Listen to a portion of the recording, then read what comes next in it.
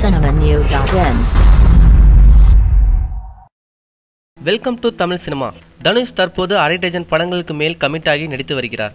அவருடைய படங்கள் அனைத்தையும் ரசிகர் எதிர்பார்த்து காத்து கொண்டு இருக்கின்றனர். அதில் ஒரு படம் கௌதம் மேனன் இயக்கத்தில் தனுஷ் நடிக்கும் என்னை நோக்கி பாயும் தோட்டா. இப்படத்துக்காக படப்பிடிப்பு அனைத்து முடிவடைந்த நிலையில் அண்மையில் தான் படக்குழு ஃபர்ஸ்ட் லுக் போஸ்டரை வெளியிட்டனர்.